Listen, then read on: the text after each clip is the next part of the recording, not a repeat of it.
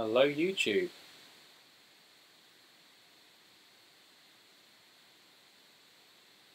Right, I think I've got it working, sort of. That doesn't look like the right resolution, but I don't want to tinker with it, so just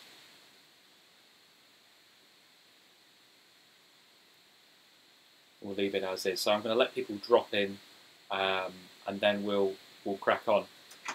What this is going to be? Oh, it's my door sneaking open. That is a ghost. Hang on. Could be my dog.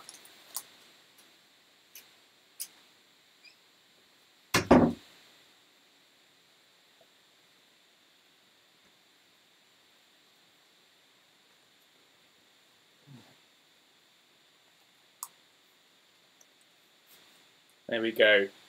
Um, yeah, Sally, yeah, that is uh, the resolution, which um, I don't want to tinker with it at this point because I don't want to cock it up. So hopefully, um, yeah, that's a little bit annoying, but we'll hopefully be all right.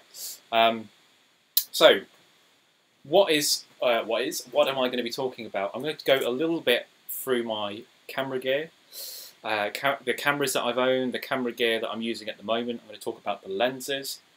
Um, it's also a little bit about some of the extra gear that I've had uh, in in the past, and just talk some different stuff. So this is my first live thing that I've done online. I've done done live TV, ironically enough, but I've not really done live stuff online. So we'll see how it goes. Hopefully we don't cock up too much.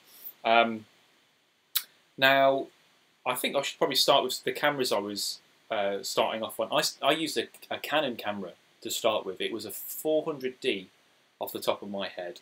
Uh, I should also just say, full disclosure, I'm not really a, a, technical photographer. I'm a naturalist with a camera. I'm not really a wildlife photographer. So if you've got any really technical questions, uh, I might not know it. But I'll, I'll, answer what I can. And that's a point about questions as well. Um, I mean, I'm going to wait till the end if there's any general... You might want to ask me about the, the underwater stuff that I do, the fish and all that kind of thing. That's great. We'll do a Q&A at the end for that. But if you want to ask anything about the equipment while we're talking about it, then just comment below and I'll I'll answer them as we go along because that's going to be more be more relevant. Um, but sorry, I'm a bit gassy because I'm drinking uh, drinking cider, so I'll try not to belch too much while we're while I'm doing a live video because that wouldn't be great. Um, I started off on Canon.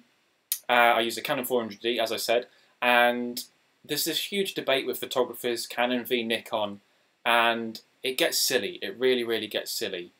And it's sort of like, well, the way I see it is it's the, the best camera is the one you've got in your hand, you know. And if you, I, I challenge any photographer to have, if you put a really good image from a Canon and a really good image from a Nikon and you get someone who could tell them apart, I don't think it's possible, you know. It seems to be, when I, when I notice, and this is me as a professional saying this, when you get people who look um, at Canon and Nikon, it's always nitpicky things. I mean, it, it might very well be that there are um, little things that you prefer to go for with those cameras. But at the end of the day, it's just whatever you're brought up on. So I started with Canon. I then went to university in Falmouth, and all their gear was Nikon. So it made sense to switch to Nikon because I wanted to use all the camera gear. They had millions of pounds worth of camera gear, and I wanted to use that. So I bought a Nikon D7000, uh, which which I gave away. Gave away to my father-in-law, or my future father-in-law, anyway. And then uh, eventually I bought a D500, which is this camera. Just take a quick swig. Um, so the D500, I mean, it's not really that new a camera anymore, uh, but it, it's pretty decent. It's crop sensor, so full frame is equivalent to 35mm. This is slightly cropped, uh, and it does the job. I mean, and the, the thing with camera bodies, what's amazing is how quickly they go out of date. And this is one bit of advice I'd give you. If you're going to spend money, spend money on lenses, spend money on the glass. Don't spend it uh, on the cameras. I mean, if you've got the money, spend it on the cameras. But uh, a camera body will go out of date within three or four years, and that's uh, that's what I try and do. Every three or four years, I buy a new uh, camera because otherwise they're just left in the dust. And as I say, I got this probably three or four years ago, and when I first got it, it was a cracking camera. It's not bad now, but there are already cameras far better than, than the D500. So for stills photography, this is predominantly what I'm using for, you know, 99% of the stills images that I take are done with a, a D500. It's not a, it's not a bad camera by, by any means. Um, So would when you know one of the things I get asked is, uh, what camera should I start off? I'm, I want to be a wildlife photographer. I want to get into wildlife photography. What camera should I get? Honestly, uh, it's whatever camera you can afford, whatever camera you can get. It, it's not really a case of this is the Pacific brand, Pacific specific brand. Uh, you know, there is no camera that I would say that's the one you should start off. It's just whatever you can afford, play around with it, and then you can obviously start spending more money as you go along. So, uh, I mean, the D500 isn't even really classed as professional. I think it's semi-professional, uh, but it does the job for me, and I really like it. And what you'll probably see for a lot of my gear, uh, apart from the underwater stuff, is it's all second-hand uh, or or not or, or budget really. So even though I'm professional, I still don't spend huge amounts of money. I say except on the underwater side. So D500 is the uh, the Nikon camera that I use predominantly. There are lots of other cameras out there, obviously, uh, but that's the one I, I particularly use. Um, I'm going to talk a little bit more about mirrorless later on because I do think that's the future for wildlife photography, and I have got a mirrorless camera which I'll show you. Um, but mirrorless is just absolutely um, incredible. But one of the things I would also say with uh, with photographers and cameras is like you wouldn't ask a painter what paintbrush he uses. So why is it that whenever someone sees a fantastic photo, they always say, "What camera did you use?" It's got the camera's something to do with it, but it's the photographer at the end of the day. The photographer takes the picture, not the camera, and I think people forget that. So that's what I would uh, always say. Like, don't get hung up on the camera too much, unless you've got really specific needs. You know, just get out there, shoot. You'll find out what you need, and you can find those qualities in uh, in the particular camera. You know, the, the best camera is the one in your hand. That's that's the way I see it, basically, for uh, for a lot of these. So that's what I'm using predominantly for stills. Now, uh, many of you will probably see some of the underwater work that I do, particularly of, of freshwater fish. And I use my D500, D500 for the stills on that, but for the video, I use uh, a lot of uh, other kinds of stuff. So I use, for example, these action cameras, and I've got a few different ones to show you. Um, okay, what's Sally saying? Do do you use your land cameras underwater, or do you have specific underwater cameras? Um, so yeah, so the D500 uh, I've got housing for, which I'll show in a second. So I do use that underwater. Um, and then I've also got these action cameras, uh, these kind of, you know, GoPro type things. And I'll use them predominantly underwater, but I also use those on land for, you know, but recently in lock, under lockdown, I've been using them for birds in my garden. So probably the most uh, well-known action camera is the GoPro. Everyone knows what GoPros are. They're really, really popular. I'm going to put my phone on silent as well because I know someone will try ringing me. Um, so GoPros are really, really popular. Um, what I would say with action cameras is it's completely down to, again, your needs and your budget. So there are better cameras than GoPro, better action cameras, but you're looking at 800 quid. I think there's the Sony, I can't remember the name of it, but Sony have an action camera and it's about 800 pounds. Now it is the dogs, it's fantastic, but do you want to spend 800 quid on an action camera? Whereas there are cameras which are much cheaper than GoPros, you know, potato quality footage, but they're only about 40 quid. So I would suggest get the cheap one, get the get the potato camera, and then if you think, you know what, I like this, but I need better quality, then move up to something else. And GoPro have cornered the market so much with this. I sound like a GoPro salesman. I'm not sponsored or anything by them, but I, I really, really like them. This is the Hero 7. I think they've gone up to the Hero 8 now. Uh, but they're really good. They're not even uh, specifically designed for underwater. They're designed more for sports. You know, people putting them on their head and, and stuff like that. But I really like them. They're really good for underwater video. Uh, I've got eight action cameras, so that's another way how I get so much footage because I've got eight cameras out all at once. Um, so GoPros are fantastic. That's what I would recommend. That's a good start. But I do use other action cameras. There are other ones out there. So, for example, Nikon brought one out, and this is the Nikon KeyMission 170. So Nikon tried to kind of get into that action camera market, and it's a bit cheaper than a GoPro. I think it's around about the 200 quid mark, something like that. So half the price of what you'd pay for a GoPro, and it's not bad. It's all right actually. It's, it's not a not a bad camera. It's it's nowhere near the, the, the Hero 7, but it's well worth investing in. You know, they all shoot 1080, at least some of them shoot 4K. Um, and I really like it. I can't fault it. I think Nikon have actually discontinued them so you might be able to pick them up even cheaper. But uh, the Nikon KeyMission 170 is pretty good. And then you can even go cheaper. Now this is the uh, the Yi, the Y the what Y I Yi, and uh, it's all right. It's a kind of a Chinese knockoff, if you want to be cynical, of a GoPro. But it's got a housing so these two can just go in the water like that. They can just go in, no housing needed, off you go. With this one, take that camera out, and it's like a housing there. Um, it's relatively simple controls, but I think you can get these for around about the 100 quid mark. So, you know, it's a good starting place. And the quality is not bad on the. I, I use this still, um, and it's not too bad. So they're sort of the action cameras that I'm using anyway, predominantly for underwater mostly, but you can use them for land as well. There's no reason why. Um, one thing I will say is for stills, they're not great. The GoPro's okay. It's not bad on stills, but if you want to take stills, I wouldn't buy a GoPro um, just for that.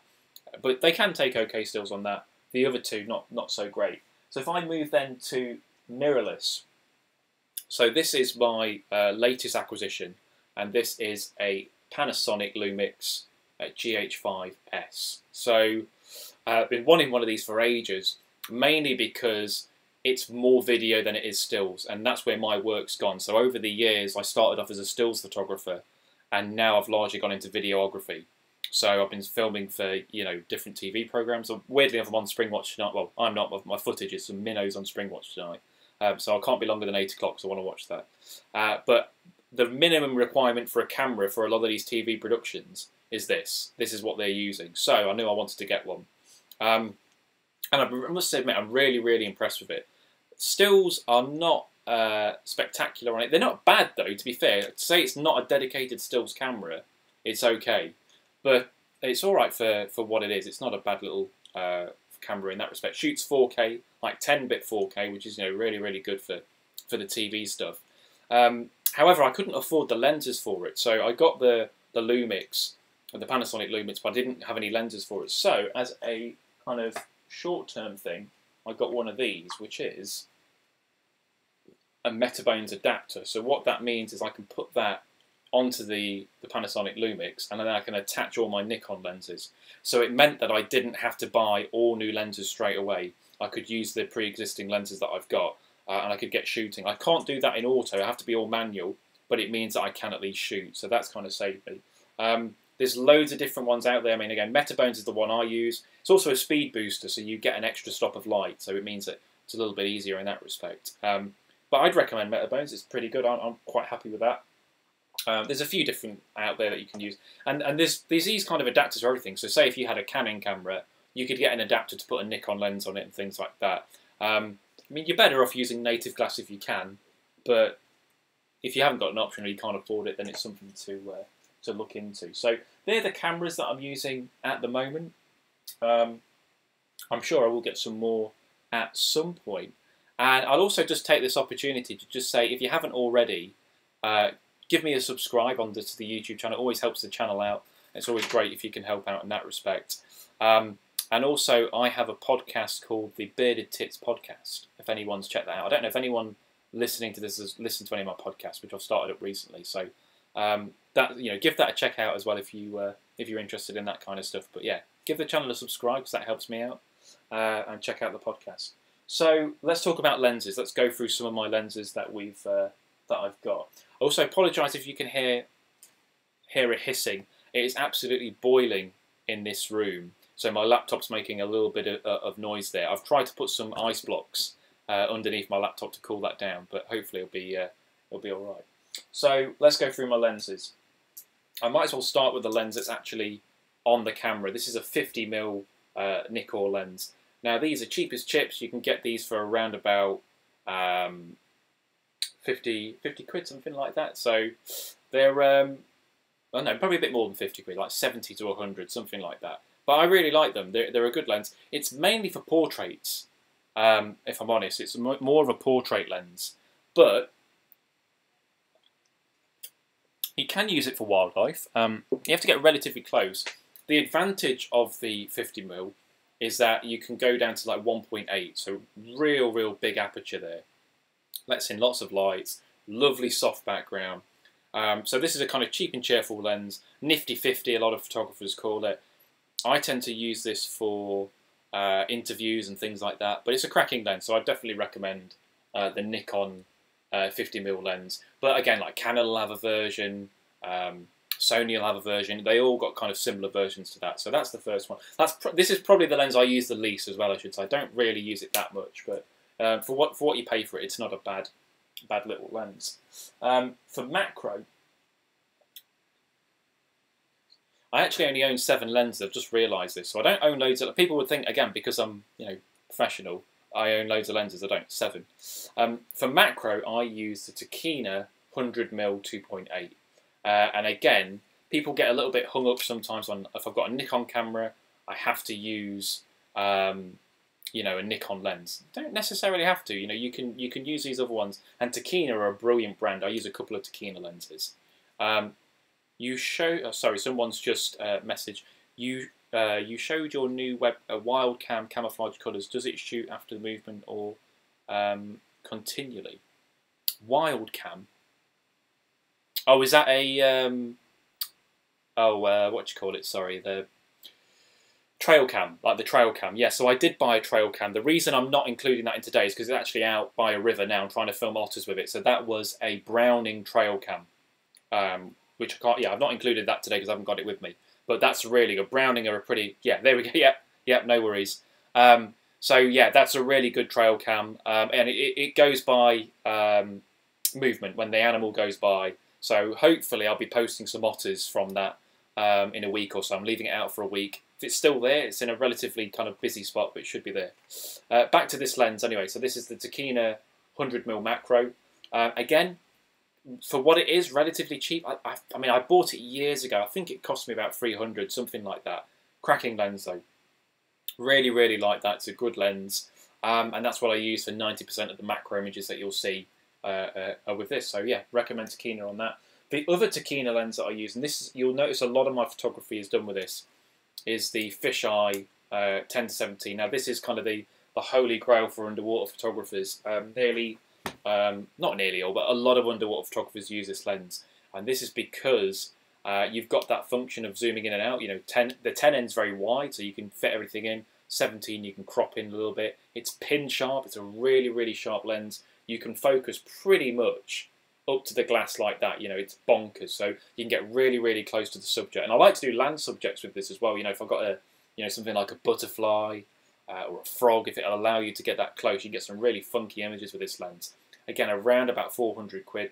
They are a bit flimsy. I mean, this is falling to pieces now. And basically, once it becomes unusable, I'll have to buy another one. But I would highly recommend a Tokina 1017mm. It is a, a really, really good uh, good lens in that respect. So, yeah, underwater photographers use this quite a bit. Uh, someone asked, uh, is it? I think you mean the trail cam? Is that underwater? No.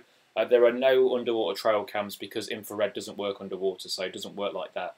Um, for the stuff that I do, it's just cameras running continuously, and then I have to pick out the, the good bits. Sally's put how many lenses fit with your underwater housing.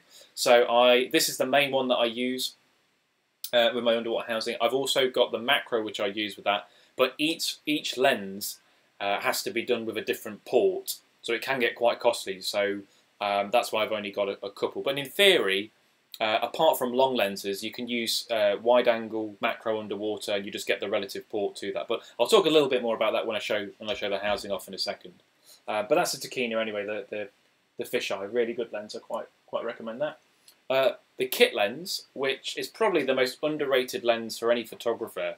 So this is just a Nikon uh, 18 to 55 mm kit lens, and I use it quite a lot. I, you know, it's the lens I got with my camera. I still use it loads now uh, it's pretty decent. You know, it's a general lens. It's not really designed for anything in particular, but can do a lot of things. You know, sometimes they use it for close-up macro stuff, not dead close-up, but relatively close-up.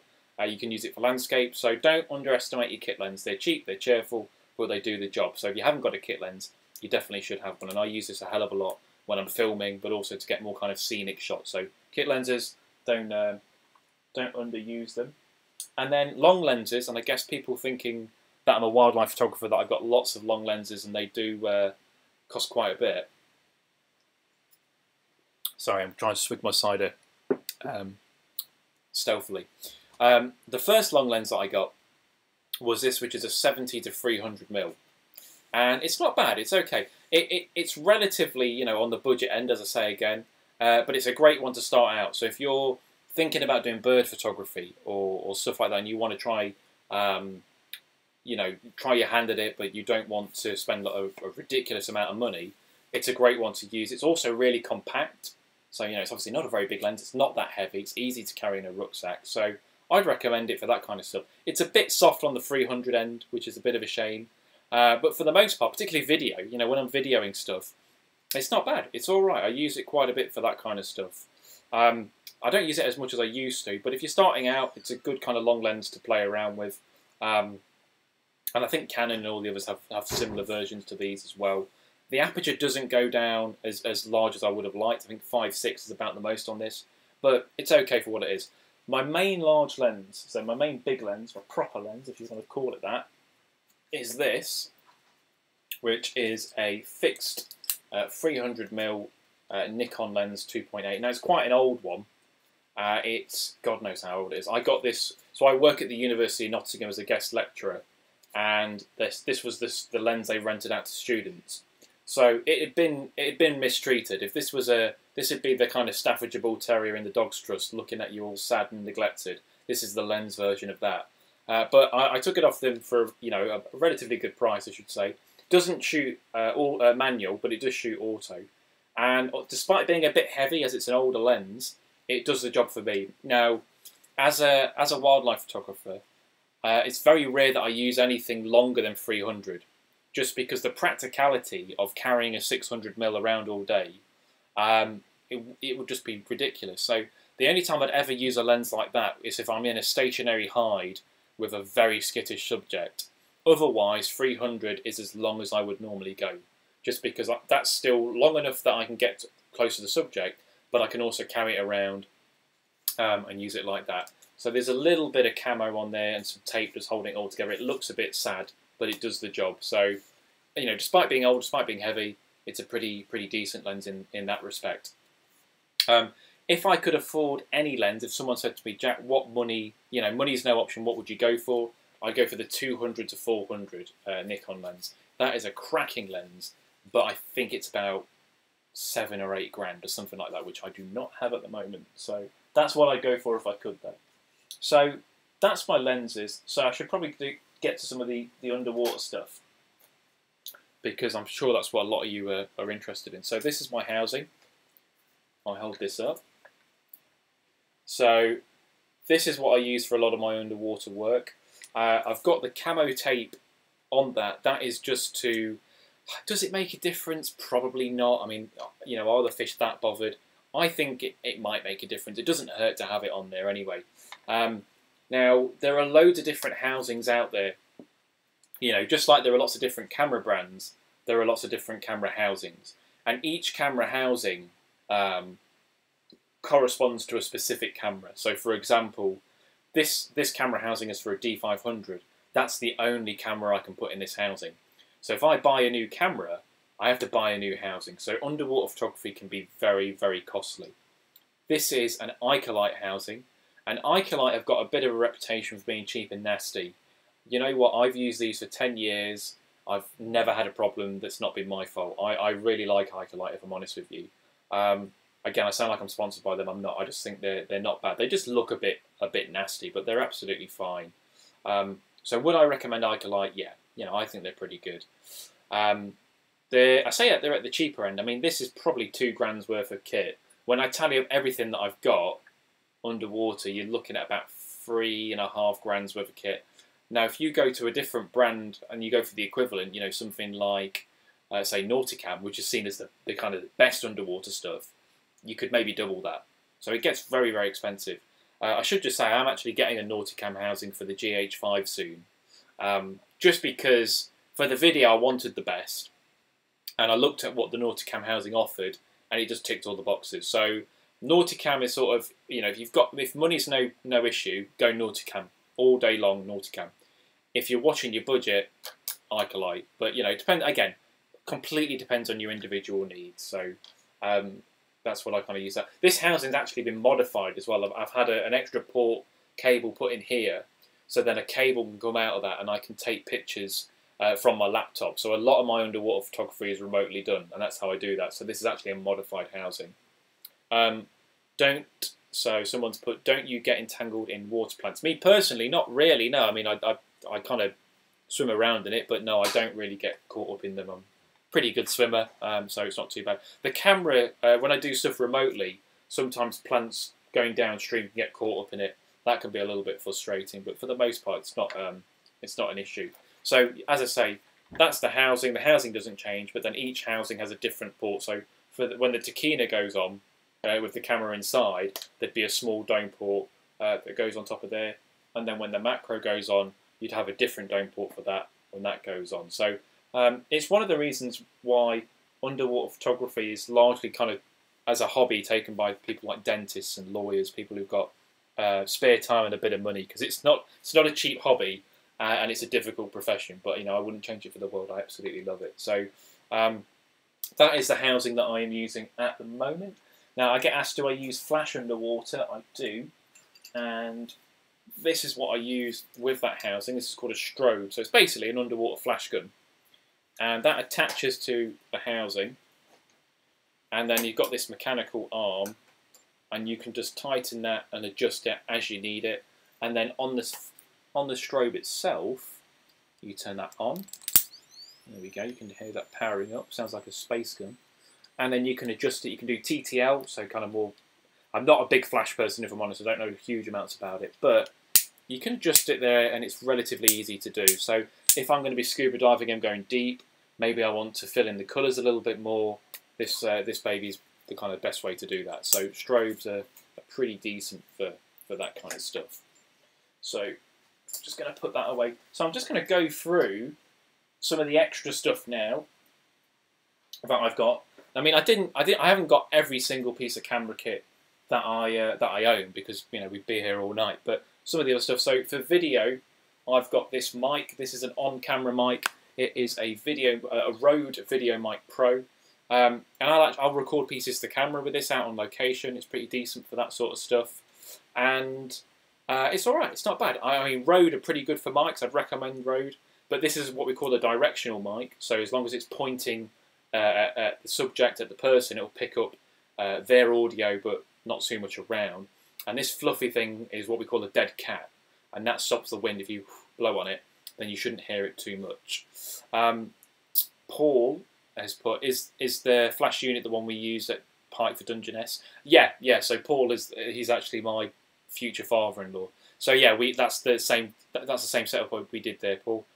And then um, all right, and then you've got entangled in the camera and attachments. I mean, not you as a freediver. Yeah, no, uh, no. So still, the the camera doesn't get entangled too much. It's not too bad, really. I mean, again, um, if someone's really weedy, then I'm probably not going to be photographing in it anyway because it'd be harder to find subjects. So so yeah, so that's the mic that I'm using for, for the majority of stuff. That's pretty pretty good.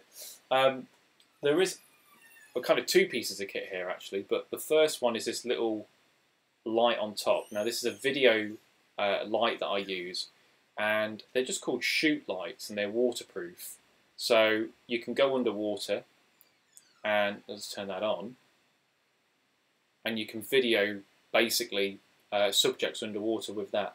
So they're about 20 quid on Amazon. They're pretty cheap, you know. So I would uh, I would recommend um, recommend that for 20 quid. You can't really argue with that. So I just turn that off, and then the thing it's on is like a little tiny tripod, and these are called, if I get it right, a Pocket MP3 BK.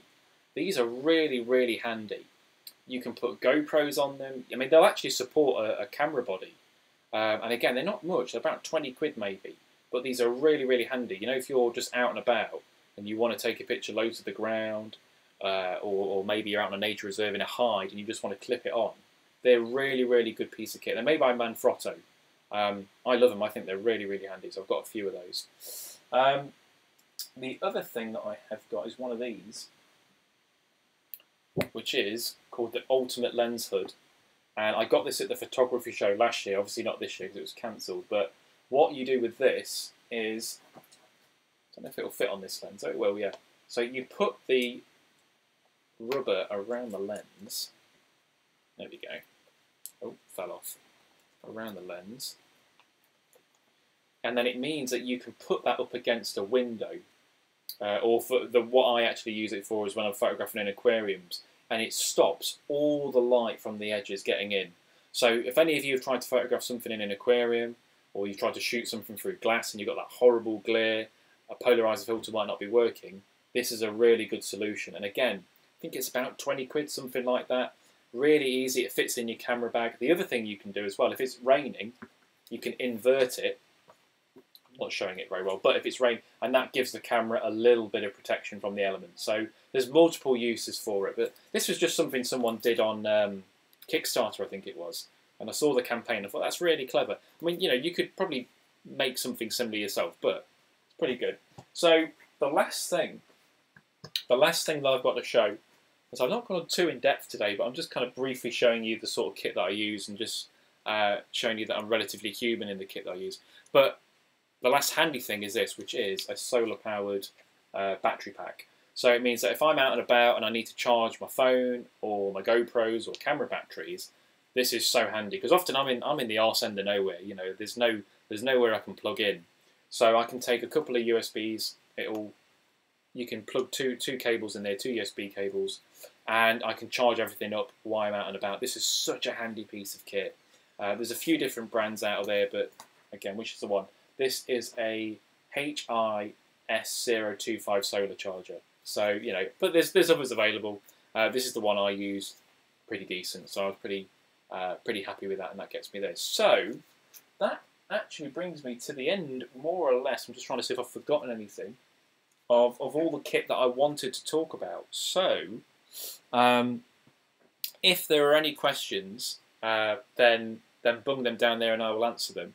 Um, as I said before, if you're not already subscribed to the channel, please subscribe to my channel because it really, really helps that out. So, and if you've not checked out the podcast, as I say, it's the Bearded Tit podcast. I think Matt Lissimore uh, posted about that as well. Yeah, he did. So thanks for that, Matt. Um, I should also just say as well.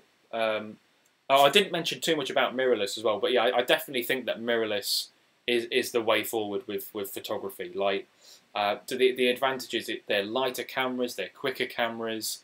Um, you've got a little bit more zoom on them. I think in the next sort of five ten years, you'll see more and more. Well, I mean, already most professional wildlife photographers are using it now. You know, Andy Rouse, David Tipling, uh, so many of them are using mirrorless. So if you're not using a mirrorless camera, it's something to consider. They are absolutely incredible. Uh, and I think the next time I buy a stills camera, it'll definitely be mirrorless. I mean, the the Panasonic's mirrorless now, but I will definitely get a, uh, a another one there. And my next purchase, if people are interested in the next big thing I'm going to buy, as I say, is a Nauticam housing for my uh, GH5 because then that means the underwater footage I can get with that will just be uh, will just be really really nice. It'll be pretty good. So uh, yeah, Sally's asked what kind of uh, tripod. So yes, I haven't included a tripod in that. I use a a Manfrotto head. Um, I can't remember the name of the head off the top of off the top of my head, weirdly enough. And then it's an Optacron tripod. Um, tripods are important. I mean, again, it depends because I do a lot of filming. I've got a video head on mine, so it's smooth tanning, uh, panning rather. I can't remember. That's really bad. I should remember the name of my tripod head. Um, I'll post it later on on Twitter or something just to kind of show if people are interested in that. But um, I got it years ago, so yeah, tripods are obviously really important, but I've not um, I've not really included that. Um, oh, so oh, there you go. You you I just realised you posted too soon. You put oops. Uh, what kind of tripod weights do you use for your GoPros underwater? Sorry, Sally, I was too eager for uh, to answer that question there. Um, so I use I do use these, the little pocket thing that I mentioned. So if if the water is um, is not too fast flowing, then these are pretty, you know, pretty good. You can put a GoPro on that, you can bung that in the water, and you get a nice steady shot. You know, GoPros will last roughly for uh, you know a couple of hours underwater, so that'll say there you'll get a nice steady shot. It depends on the flow. If I'm in faster flowing water, then I'll use an old dive weight or a stone or something like that, and I'll just uh, fix the GoPro onto that. I mean, it's, it's really uh, what I do is not particularly complicated, and I think people think that it's easy. It's not easy, but um, yeah, I don't overcomplicate things normally. I, you know, I've got a few little tricks of the trade, but um, yeah, it's pretty simple, the stuff that I do. Um, great shirt. Oh, yeah, yeah, I thought I'd better wear a fishy, fishy shirt. Um, I think I'm about done. Unless there's any more questions. People got some questions, I'll answer them before I go. But as I say, uh, I've got some minnows on Springwatch tonight, so I'm looking forward to watching that. Um, as I say, sub to the channel if you don't already. Check out my podcast, the Bearded Tits podcast. I've also got a book coming out in a couple of months, I think, called The Complex Lives of Britain's Fish. So that'll be out soon. Um, and yeah, thanks for joining me. You know, I'm sorry about the the cock up yesterday with it all. I might do more live shows. I'm not sure if I, if I can think of something else to talk about live. I've sort of got the hang of it now. I might do another one, but I don't know. If there's an interest, I might do. Uh, maybe not. But look, thanks for joining me. I really appreciate you all tuning in. Uh, and keep an eye out for more content on the channel. Every Monday and Thursday is new stuff on YouTube. And hopefully you all enjoyed it. So yeah, I will catch you next time. And uh, oh, there we go. Hang on. Could you make some printed cards with figure names of gear? Um, I guess I could, yeah. but yeah, anyway, hope everyone's, hope everyone has, has enjoyed it, and yeah, I'll catch you next time. Cheers.